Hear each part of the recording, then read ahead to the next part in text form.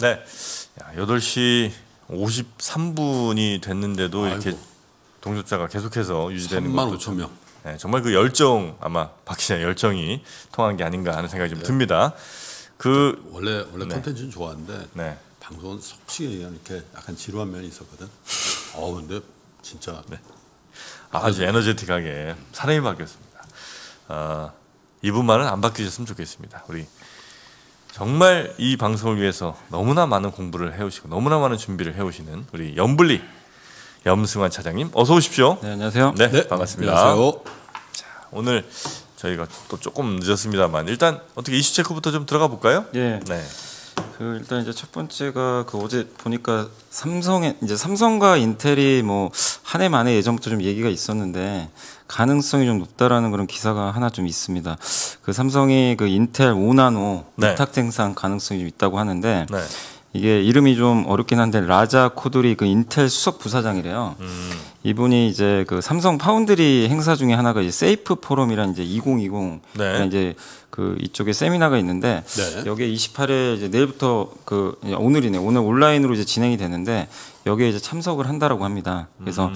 이게 사실 인텔이 예전에 한번 주가 급락한 게 7나노 공정 그거 안 된다고 해가지고 우리 공정 좀 쉽지 않다. 네네네. 그래서 위탁 생산 맡기겠다 이렇게 언급하면서 한번 이제 주가 급락한 적이 있었는데 음. 그때 이제 대부분의 이제 전문가들이 다 좀 아무래도 TSMC로 넘어가는 거 아니냐 위탁 생산하면 네. 근데 이제 그 TSMC가 워낙 지금 대형사들하고 지금 거래를 많이 하잖아요. 음. 또 AMD하고도 지금 관계가 좋고 그러다 네. 보니까 요 기사에서는 일단 AMD하고 이제 TSMC 이쪽 좀 물량 받기도 좀 버겁기 때문에 삼성 쪽으로 좀 넘어갈 가능성이 좀 있다 이렇게 음. 좀 얘기를 했고 또 인텔이 삼성전자에 지금 5나노 그러니까 7나노 띄고 5나노로 좀 한번 공정으로 자사 제품 생산하는 그런 좀 방안이 좀 나올 수 있다라고 좀 언급을 한 것 같습니다. 그래서 네. 지금 사실 7나노든 5나노든 할 수 있는 쪽은 삼성전자 TSMC 외에는 사실 없잖아요. 사실. 그렇죠. 네, 네, 네. 현재는 이제 불가능하기 때문에 아마 인텔의 이게 수주가 진짜 될지 모릅니다. 근데 만약에 수주가 된다라면은 삼성전자 입장에서는 또 대형 고객사 하나가 이제 확보되는 거고 음.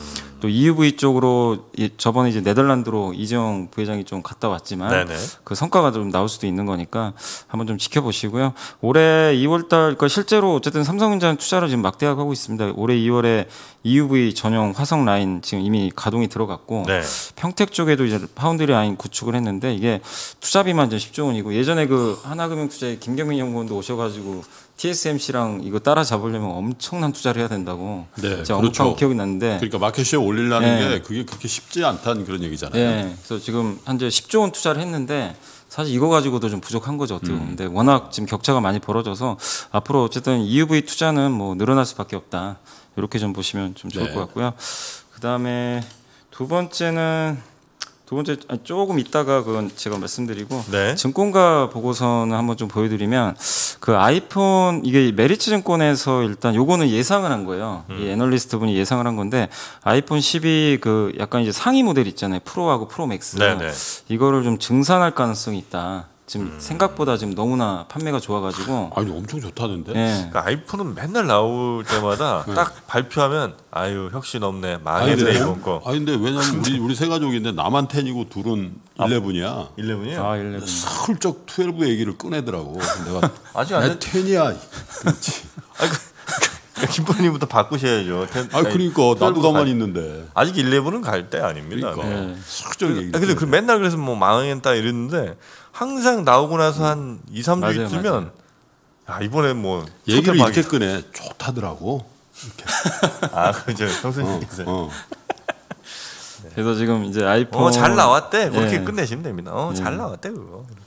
근데 이 아이폰 모델이 좀 다양한데 네. 약간 저가형 모델은 생각보다 그렇게 반응이 뜨겁지는 않고 한- 어쨌든 이제 최상위 모델 음. 이쪽의 반응이 매우 뜨겁다고 하는데 이게 통상 애플이 수요 예측 미스로 증산 요청을 하면 평균 10% 정도 더 증산 요청을 하는데 이 애널리스트 분은 이번 1차 증산 요청 물량을 한 모델별로 100만 대 그래서 한 4, 5% 정도 추가 증산 요청할 것 같다 이렇게 얘기를 했고 그리고 아이폰 12 시리즈가 아마 역대 아이폰 모델 중에 가장 많이 팔린, 그러니까 두 번째로 많이 네. 팔린 모델이 될 것 같다라고 좀 언급을 했고요. 아이폰 이- 이번 시리즈가요? 예, 역대 가장 그러니까 두 번째로 오. 많이 팔릴 거라고 좀 썼더라고요. 그래요? 그래서 그래서 지금 2017년도 당시 이제 모델들이 그때 제일 많이 팔렸다고 하는데 어.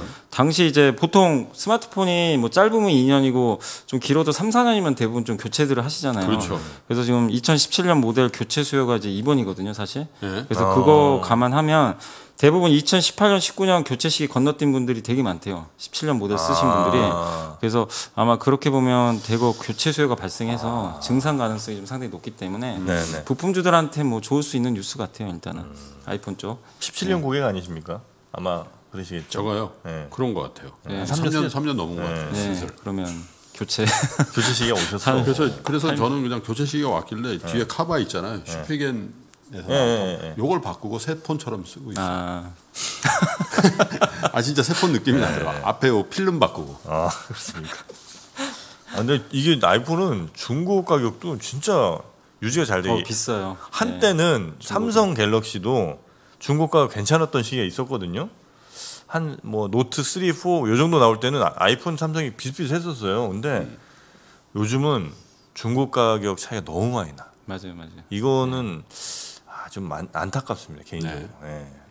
뭐 해본 적이 어쩔 수 없는 것 같아요. 이 사람들의 인식이 네. 애플 아이폰에 대한 이제 프리미엄을 너무 높아졌어요. 부여하는 것 같습니다. 네.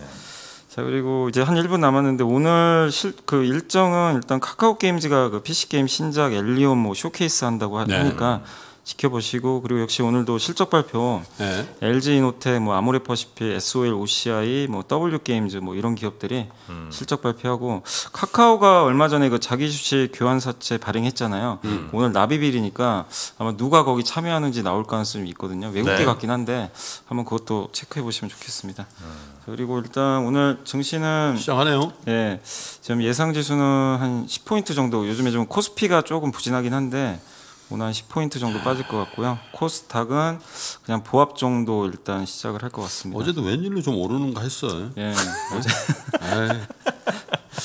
일단 오늘 어, 네. LG화학이 그 국민연금 그 반대 때문일까요? 일단 효, 효과가 되게 좋네요. 2% 이상 오르는 네. 걸로 나오네 일단. 일단 시장에서는 일단 물적 분할 안 하는 걸 좀 호재로 인식을 하는 것 같아요. 오늘 음. 일단 시초가 뜨는 거 봐서는 일단 LG화학이 뭐 물적 분할 관련해서는 이제 10월 30일 날 결정 날 텐데 네. 외국인들한테 달려 있는 것 같아요. 외국인 지분이 한 30% 넘으니까 네. 그분들이 어떻게 행사하느냐가 좀 관건인 것 같아요. 물적 분할 가긴 가겠죠. 근데 아니 외국인들이 네. 이렇게 일부만 만약에 투표권을 행사하고 네.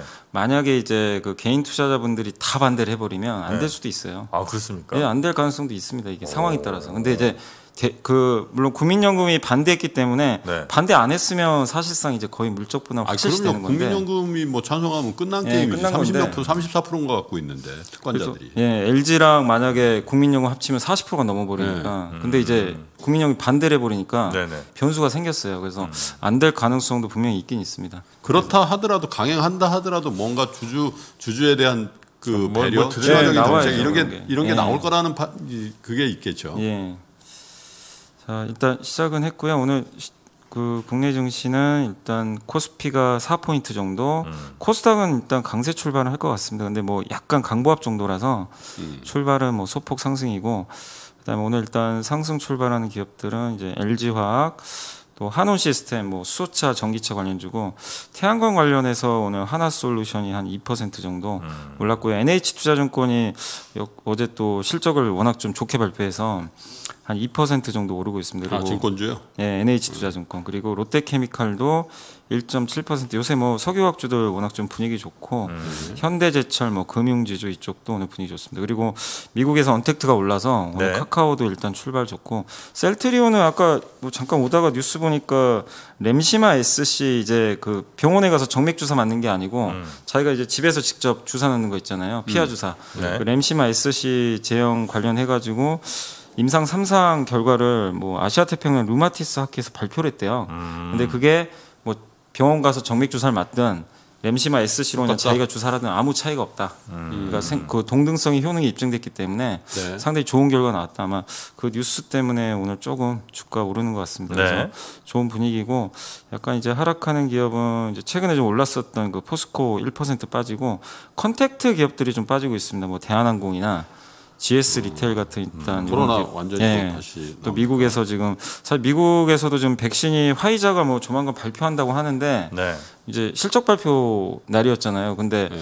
언급을 좀 약간 얼버무린 것 같더라고요. 그러니까 결국 일주일 안에 뭐 다시 공개하겠다. 음. 뭐 좋은 결과 나오든 안 나오든 그래서 약간 이제 이걸 밀어버렸기 때문에 일단 시장에서는 조금 우려를 하고 있는 것 같아요. 1911뭐 중단해 버리고요. 예, 일라이 릴리도 중단하고 그래서 이게 코로나 치료제 백신 나오는 게 정말 이게 참 말 기대는 하는데 참 말처럼 이게 좀 쉽게 되진 않는 어제 오늘 카카오 같아요. 같은 것들이 좀 견조하군요. 보니까. 예, 그래서 그런지. 카카오도 예 그래서 언택트 기업들이 일단 좀 올라서는 것 같습니다. 음. 그 코스닥에서는 오늘 그 휴젤이 요즘에 이제 메디톡스 분위기 좀 워낙 안 좋고 또 휴젤이 그 중국에서 그 이제 판매 승인 좀 받아가지고 뭐 다시 한번 3% 정도 오르고 있고요. 네. 어제 좀 많이 올랐던 기업들이 2차 전지 섹터인데 음. 오늘 뭐 스- 어제 수소차 관련주 상아프론테크 또 2차 전지 천보 성장주들이 어제부터 좀 살아나고는 있어요. 코스닥이 어제 분위기 보니까 음. 그래서 일단 성장주들이 이끌고 있고 코스닥에서 좀 빠지는 기업은 뭐 펄어비스나 GS 홈쇼핑. GS 홈쇼핑은 이제 아무래도 홈쇼핑 관련주인데 일단 이쪽에서는 좀 약간의 매물이 좀 나오는 것 같습니다. 그래서 전체적으로 시장은 약간 뭐 그렇게 큰 변동 없이 그냥 뭐 약간 지지부진하게 움직이고 있고요. 다만 좀 지수가 오늘 보니까 코스피가 조금 이제 부진할 수밖에 없는 건 삼성전자 좀 좋진 않아요. 삼성 물산도 안 좋네요. 예, 어제 삼성 그룹주들이 오늘 일단 1% 빠지고 어제 좋았던 그 현대차도 1.4% 확실히 그 기아차에 비해서는 좀 약하긴 하더라고요. 아 근데 어제 어제 현대차 기아차는 우리 염 차장이 맞는 것 같아. 그때는 처음에는 현대차가 비슷하게 오르고 있었거든. 근데 내가 볼 때 아무래도 기아차네요. 그래 그 다음에 쭉쭉 벌어 네. 기아차는 뭐 거의 10% 오르더만. 근데 기아차는 아무래도 좀 지배구조 이슈에서도 좀 더 자유롭고 네. 그리고 어제 말씀드린 이제 요지가 뭐냐면 현대차는 금융 수익이 많았는데 네. 기아차는 그냥 자기 찐 수익이에요. 그냥 자동차 SUV 팔아가지고 엄청난 돈을 버는. 그리고 어제 유지용 연구원한테 물어보니까 네. 그 자동차 회사가 어제 그러니까 기아차 영업이익률이 7%가 넘었거든요. 예. 이게 거의 있을 수 없는 일이래요. 아. 웬만하면 왜냐면 도요다가 7%가? 옛날에 예. 10% 찍은 적이 그 역대 최고였고. 역대 자동차 산업에서 최고. 네, 거의 한 최근 한 몇 년간 봤을 때 근데 네. 이게 7%면 이런 코로나 위기 때 이건 뭐 나올 수 없는 수치라고 합니다. 음. 사실 그래서 아마 어제 뭐 기관이나 외국인 투자들이 좀 놀란 거 아닌가 좀 그런 아니, 생각 그렇긴 해요. 나, 나도 그저 우리 이 프로도 카니발 몰고 다니는데 그래서 내가 왜냐면 연예인들 국회의원들 다 카니발 타잖아요. 네. 야, 저 카니발이 좋은가? 그때 물어보니까 얼마 많이 안 비싸던데 생각보다 나는 차가 크고 막 그리고 까만색이고 그래가지고 네. 네. 네. 네. 네. 굉장히 비싼 줄 알았더니 생각보다 안 비싸더라고. 그 요새 뭐 차박 많이 하잖아요. 그러니까 네, 차박. 차박. 예. 그래서 SUV 뭐 특히 카니발이 최적화돼 있잖아요, 사실. 음. 거기에 최적화돼 있다 보니까 차도 뭐 잘 만들게 새로. 나온 카니발도 좋더라고요. 예. 네. 자 그리고 오늘 이제 수급은 어제 개인들이 사실 좀, 좀 어제 좀 보면서 약간 좀 뭐라고 해야 될까요? 어제 코스닥 그 개인들이 그냥 다 던져버리시더라고요, 사실 장중에. 근데 그 물량을 외국인이 싹 받아가는데 제가 이따가 그건 좀 설명해 드릴게요. 네. 그리고 인내, 인내심에도 한계가 예. 있죠. 그래서 오늘 오늘은 조금 사시는데 뭐 코스닥은 안 사 거의 안 사고요. 코스피만 좀 사고 있고 음. 외국인이 오늘도 코스닥은 좀 받아내고 있습니다. 그리고 기관은 역시 뭐 아직은 뭐 매수 쪽으로 돌진 않고 있고 그다음 오늘 그 섹터 쪽에서는 뭐 창투사라든가 요새 온실가스 관련주들 좀 강한 편인 것 같고 네. 사료 기업도 오랜만에 강한데 아 이지바이오가 그 유- 무상증자 발표한 것 같더라고요. 그래서 이게 사료 쪽인데 그래서 아마 주가 좀 오늘 급등은 17% 정도 네? 오르는 게 좀 특징적입니다.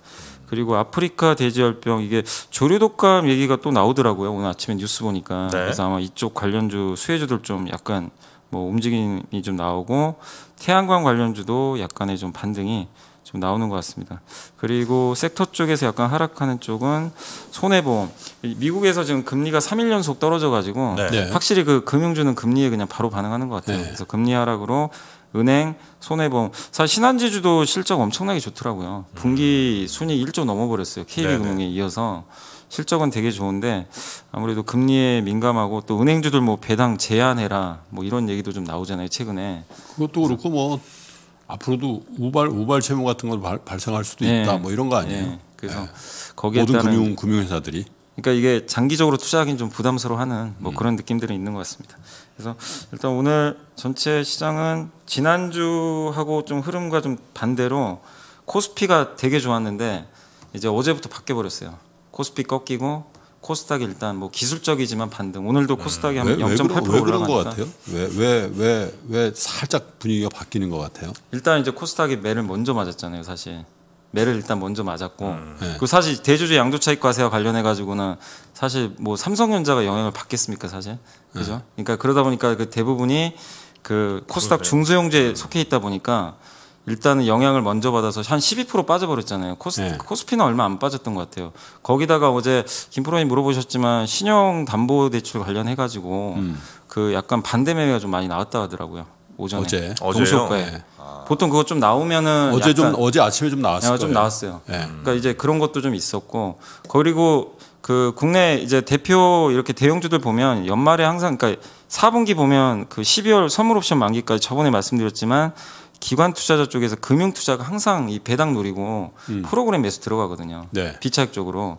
그래서 그런 것들이 항상 대형주한테 좀 강했어요. 근데 그게 그 지난주에도 계속 들어왔었어요. 그러니까 기관들은 코스닥은 다 던지는데 코스피 대형주는 사고 있었어요. 네네. 오히려. 그러니까 이런 수급적인 차이가 있었는데 어제부터 좀 바뀌어 버렸어요. 기관들이 코스피 좀 정리해 버리고 음. 오히려 어제는 좀 코스닥 샀고요. 그 다음에 어제 같은 경우 또 외국인이 오, 오랜만에 제가 이제 바로 설명해 드릴게요. 정말 오랜만에 들어왔는데 그래서 지금 좀 단기적으로는 코스닥 쪽이 좀 더 약간 살아날 가능성은 좀 있는 것 같아요.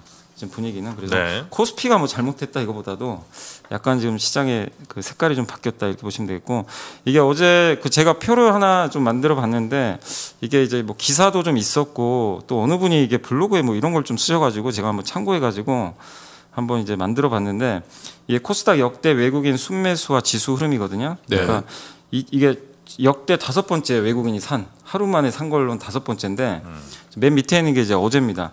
근데 제일 많이 샀던 게 올해 6월 16일 날. 그때 무슨 일이 있었냐면 그때 그 전날 다 지수가 대부분 급락한 날이에요. 예. 급락하고 다음 날 외국인 바로 들어왔거든요. 예. 근데 그 전날 마이너스 7%가 빠졌는데 아마 기억하실 거예요. 그때 코로나가 재확산하고 예. 북한이 전쟁할 수 있다. 김여정 그때 이제 부부위원장인가요? 그, 그 사람이 이제 뭐 북한 도발과 관련해 가지고 뭐 언론에서 기사도 나오고 맞아요. 막 아마 기억들 하실 거예요. 그때 아. 갑자기 전쟁 난다 막 네, 이래 가지고 네, 네. 코스닥이 7% 폭락한 날이에요. 근데 그 다음 날 바로 외국인이 다 이걸 사서 올려버렸어요. 그래서 그, 그 다음 날 플러스 6% 올랐고 이제 D 플러스 5는 일주일, 그다음 D 플러스 20은 이제. 그날 이후로 한 달인데 수익률을 계산해 봤더니 다 올라갔습니다 일단은. 음. 그리고 8월 작년 8월 6일이 뭐냐면 그 신라젠 기억하세요? 팩사백 그 임상 아. 쇼크. 네네네. 그래가지고 그때 이제 신라진 난리가 났었죠. 그래가지고 그때 아마 바이오 기업들이 엄청나게 빠졌어요. 맞아요. 예, 그래가지고 그날이 마이너스 7% 찍은 날인데 외국인들은 다음 날 또 이거를 과감하게 사버렸습니다. 근데 그 다음 날도 신라젠을 지수가 샀다는 건 아니에요. 코스닥을 샀다는 예, 거예요. 코스닥을 사버렸어요, 그냥. 왜냐하면 그날 이제 다 빠져버렸으니까 코스닥 기업들이. 그리고 그 일주일 후에 7% 올랐고 20일 후에는 14%나 급등이 나와버렸습니다. 그리고 올해 3월 17일은 이제 코로나가 한참일 때죠. 글로벌 확산. 그때 그 전날 마이너스 3% 빠졌는데 이제 그날 2,500억 샀는데 물론 이제 그 후로 코로나가 더 확산돼 가지고 더 많이 빠졌어요. 한 6%더 빠졌는데 한 달 후에는 무려 이제 20% 가까이 올랐고 네 번째가 이건 좀 특이한데 이건 예매입니다. 이거는 이제 8월 30일 날 2,400억을 샀는데 이건 왜냐하면 시젠 알테오젠이 MSCI 지수 편입인 일이었어요. 예. 그래서 이거는 약간 비정상적인 겁니다. 근데 그렇, 그렇게 샀는데도 어쨌든 일주일 내에는 또 주가가 올라갔어요. 그래서 이번이 꼭 그렇다는 건 아니지만 물론 또 대주주 양도 차익 과세 요건도 좀 있잖아요. 네. 이런 게 확정은 안 됐지만 과거에 이런 데이터를 봤을 때 2,360원은 결코 이 무게가 작은 게 아니거든요. 외국인들이 하루 산 것치곤 그 외국인들이 뭐 바보도 아니고 이 이렇게 폭락하는 장에서 대주주 물량 뻔히 나올 거 아는데 어쨌든 엄청난 매수를 해버렸어요 어제 역대 5위 네. 하루 만에 그래서 이걸 봤을 때 외국인들은 일단 저가에 뭐 스마트머니인지 외국인들 모르겠는데 뭐 들은 거 아니에요? 그건 잘 모르겠습니다. 아 뭔가 정보가 글쎄요 그것까지 뭐 제가 그래서 아까 ESG가 이색 이런 얘기가 있더라고요. 네. 그래서 어쨌든 어제 외국인들이 뭐 앞으로 일주일 한 달호는 또 봐야 되겠지만 네. 일단은 과거 데이터 보면 2,300억은 정말 많이 산 거고 네. 어제 많이 샀던 그 기사 찾아보니까 제일 많이 샀던 게 바이오예요. 역시 외국인들이 제일 많이 산 시젠. 음. 시젠 제일 많이 샀고 그 다음이 제넥신, 알테오젠, 휴젤.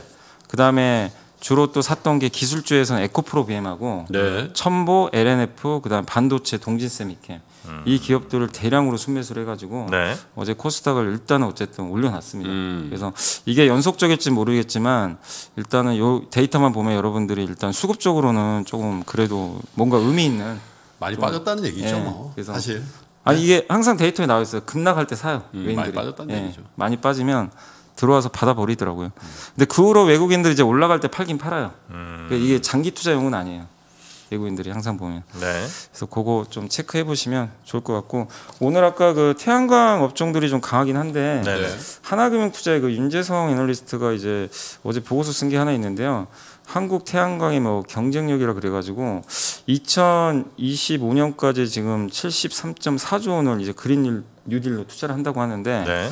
5년에 걸쳐서 총 30기가와트가 이제 설치가 돼야 된다고 합니다. 근데 이게 태양광이 음. 1년 단위로 환산하면 6기가와트인데 지금 보통 최근 태양광 설치량이 2에서 3기가와트 정도래요. 음. 그러니까 앞으로 두 배 정도는 더 늘어나야 된다고 합니다. 지금보다. 그렇게 보면 이게 뭐 국내 OCI나 하나솔루션한테 수혜가 될 수 있다. 음. 그런 얘기가 좀 있고 그다음에 그 신, 미국 정부가 신장 지역에 그 위구르족 있잖아요. 네네네. 있잖아요. 그거 뭐 인권 탄압 때문에 네. 네. 그거 이제 폴리실콘 등 중국산 그 태양광 패널 원재료 네. 수입 금지 추진하고 있거든요. 그럼 이제 역으로 한국 기업들이 아. 수혜를 받을 수도 있죠, 사실. 예, 그래서 그런 것들이 좀 있었고 또 아까 잠깐 확인해 보니까 세계 1위 태양광 패널에서 퍼스트 솔라라고 한번 들어보셨을 거예요. 네. 그게 시간외 거래에서 급등하고 있는데 3분기 또 깜짝 실적이 나왔다고 합니다. 그래서 태양광 쪽으로 오늘 약간 모멘텀이 좀 받고 있다. 이렇게 보시면 좀 좋을 것 같고 그다음에 요거는 그 정유업종 가지고 계신 분들 좀 귀 기울여 보시면 좋을 것 같은 키움증권에서 음. 그 폴리자일 그러니까 그 파라자일렌이라고 PX라고 있어요. 이게 뭐냐면 PX요? 네, PX. 그러니까 우리 옷 보면 이렇게 요즘에 뭐 양복도 그렇고 이런 네. 셔츠도 옛날에 다 대부분 면이었는데 폴리에스터가 들어가잖아요. 네네. 섬유로. 네. 그게 된- 굉장히 이제 좋은 소재인데 그거를 만드는 원료가 TPA라고 있어요. TPA를 만들고 이제 TPA 같은 건 주로 롯데케미칼 같은 회사들이 만들거든요. 네. 그리고 TPA를 만드는 또 원료가 아까 말씀드린 파라자일렌 PX입니다. PX는 대부분 정유회사들이 만들어요. 음. 뭐 SK 이노베이션, SOE. 네. 정유회사들이 사실은 정유만 하는 게 아니라 석유화학 사업도 다 하거든요. 그렇겠죠. 그래서 네. PX가 엄청 예전에 호황이어가지고 이거 설비 투자 엄청 했어요. 아. 근데 이게 지금 공급감 발생해가지고 네. 이게 이제 불효자가 돼버린 거죠. 옛날에 진짜 효자였는데 불효자가, 네. 불효자가 돼버렸어요. 그래서 이거 때문에 실적도 안 좋고 한데 이게 이제 올해까지는 증설이 많이 나온대요. 음. 이게 워낙 좀 증설 물량이 좀 많은데 내년부터 이제 증설 물량이 확 줄어들게 되고 그다음에 아까 말씀드린 이제 전방 산업이 TPA라 그랬잖아요. 네. TPA 공급을 하는데 TPA 물량이 내년도 그러니까 올해도 늘지만 내년도에도 크게 늘어난다고 합니다. 그러면은 PX 수급이 이제 내년부터는 개선이 될 수 있으니까 네. 이 키움증권 애널리스트 이제 그걸 보고 좀 말씀하신 것 같아요. 그러면 뭐 지금 유가가 못 올라가서 정유주가 안 좋긴 하지만 PX 쪽으로 만약에 내년에 이분 얘기처럼 마진이 살아난다면 음. 정유주한테도 희망은 있을 수 있어요. 지금 가장 이렇게 보면 좀 쩔어 있는 업종이 정유주거든요. 네네. 정말 못 갔잖아요. 석유화학은 그래도 많이 갔잖아요. 요새 아, 롯데케미칼. SO일 실적 발표했잖아 어제. 예. 비참하던데. 아니 오늘 물론- 오늘 합니다. 오늘. 오늘? 아니, 오늘이요. 뭐- 아마 뭐- 적자 나올 거예요. 예? 오늘이요. 오늘인가? 예. 근데 아마 적자 뭐 나올 것 같아요. 뭘 미리 보신 거예요? 아침, 아침 예상치 아, 보신 것 아. 아침에 본거 예상인데 염, 네, 염. 염성환 차장이 방송하는 거 아침 예. 보고 왔거든. 그 예상. 예상이구나. 예, 예상. 예상입니다. 거기는 천억 정도 흑자로 예상하는. 아니요, 그거는 아닙니다. 아마 적자 날 적자- 적자예요? 네, 적자 날것 같아요. 근데 이제 사실 뭐 정유주를 굳이 뭐 이렇게 실적 보고 할 필요는 없잖아요, 사실. 어차피 뭐 적자 날 거 다 아니까. 근데 앞으로 항상 보실 게 안 좋은 기업이 계속 안 좋아지는지 음. 좋아지는 쪽으로 우리가 봐도 되는지 그걸 찾으셔야 되는데 뭐 정유업종은 워낙 지금 너무나 이제 밑에 있으니까 좋아지는 것도 한번 찾아보세요. 거기서 또 포인트가 나올 수 있으니까 뭐 언제까지 석유화학만 갈 수도 없는 거니까 네. 그건 좀 체크해 보시면 좋겠고 그 다음에 카카오뱅크가 뉴스 보니까 7그 유상증자 좀 한다고 하더라고요. 그래서 네. 사모펀드 새 주주를 영입한다고 하는데 7,500억 규모. 그래서 오늘 KTB 투자증권의 애널리스트 분이 이게 자기가 평가를 원래 15조 원 정도로 가치 평가를 했는데 네. 네. 17조 원 정도로 좀 가치를 좀 더 상향 조정했고요. 음. 유상증자 대상이 그 글로벌 4대 사모펀드 이게 미국계라고 하는데 TPG 죠, TPG, 예, TPG. TPG 캐피탈 여기서 사모펀드 한다고 하고요. 그래서 유정, 유증이 끝나면 자본금이 2.5조가 되고 그 신용대출 시장에서 지금 KB 신한에 이어서 3위라고 하더라고요 카카오뱅크가 네. 네. 규모가 그래서 지금 굉장히 좀 커지고 있는데 근데 약간 이제 카카오뱅크 보시는 분들 주의하실 게 이게 지금 만약에 이 가치로 좀 평가를 하면 주당 가격이 23,500원이 나와요. 음. 카카오뱅크. 근데 지금 장외 가격이 9만 원이 넘어요. 장외 거래 가격이. 네. 계리율이 너무 많이 발생했어요. 그러니까 이거는 꼭 체크를 해보시면 좋을 것 같아요. 그러니까 뭐가 잘못 이게 싼 건지 아니면 장외 거래가 비싼 건지 제가 모르겠지만 계리율 차이가 너무 벌어지면 어쨌든 좁히게 돼 있잖아요, 사실. 그래서 그 부분은 좀 카카오뱅크 좀 이렇게 관심 있는 분들은 좀 체크를 하시고 보시면 좋겠고 네. 그다음에 이제 마지막으로 요새 이제 제가 어제도 뭐 실적 발표한 기업들 좀 몇 개 말씀드렸는데 어제 좀 잘 나온 기업들은 제가 이제 체크해 보니까 삼성 SDI, 골프존, 고려아연, 보령제약, 신한지주, 삼성 SDS, 현대제철 이 기업들이 다 earning surprise 나왔어요. 음. 잘 나왔는데 네. 제가 보고서를 읽어보니까 삼성 SDI를 대부분 다 좋게 보더라고요 애널리스트 분들이 음, 실적이 그냥 이게 일회성이 아니라 앞으로 네. 이어질 것 같다. 뭐 미래에셋 대우에서는 제목도 되게 좀 자극적이에요. 매수하지 않을 이유가 없다. 일단은 그렇게 아예 써버렸더라고요. 근데 네. 영업이익도 좋았는데 이게 분기 사상 최대 실적이고 고무적인 게 전기차 배터리가 드디어 그 손익분기점에 도달했다고 합니다. 네네. 그럼 이제 4분기에는 유럽 쪽에서 판매량 늘어나니까 상당히 좋고 지금 사실 원통형 배터리를 LG 화학하고 그 일본의 파나소닉만 하고 있잖아요. 네. 테슬라에 납품하는데 이거를 삼성 SDI가 그 어제 컨퍼런스 콜에서 얘기를 했나 봐요. 자기네도 원통형 개발 배터리 개발 중이라고. 어. 예. 그러면 이제 이걸 테슬라를 겨냥한 건지 모르겠는데 사실 원통형 배터리는 테슬라 외에는 안 하거든요. 그러면 그걸 겨냥하겠죠. 자기는 좀 납품을 하려고 하는 건지 개발을 하고 있다고 하니까 한번 좀 이 부분은 좀 향후에 좀 체크는 계속 해봐야 될 것 같습니다. 네. 예. 오늘 일정까지 다 나온 거죠? 네 오늘 다 말씀을 드렸습니다. 네. 네. 자, 우리 연불리 염 차장님과 함께 오늘 증시 개장 상황과 뭐 오늘 아, 주요 일정들까지도 쭉 네. 살펴봤고요. 또 주요 보고서들도 읽어볼 만한 것 챙겨 주셨습니다. 자, 이렇게 매번 아침마다 아, 항상 감사한 마음이고요. 내일 아침도 또 염 차장님과 함께 장 시작하도록 하겠습니다. 함께 해 주셔서 대단히 고맙습니다. 네. 고맙습니다. 네.